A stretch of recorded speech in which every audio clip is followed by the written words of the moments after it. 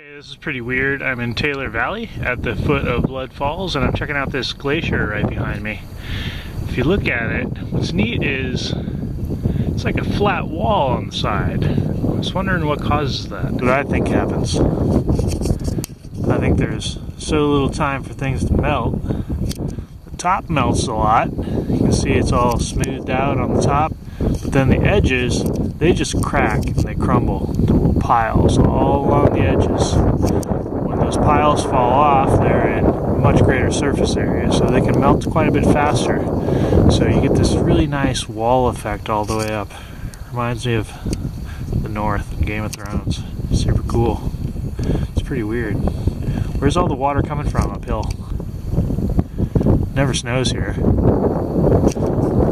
Is the driest desert in the world.